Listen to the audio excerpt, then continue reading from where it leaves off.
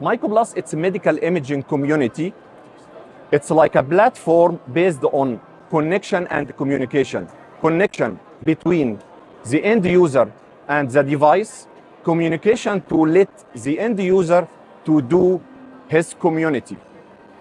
And this software or this solution used for three main parameters teaching and training to empower, to enhance the end user or the client, remote collaboration to get the confident diagnosis, okay, and operation management to enhance the utilization. As you can see here, our solution component only two main components hardware, the U-Linker machine, okay, and software you can install in Apple Store, from Apple Store, from Google Play and Windows.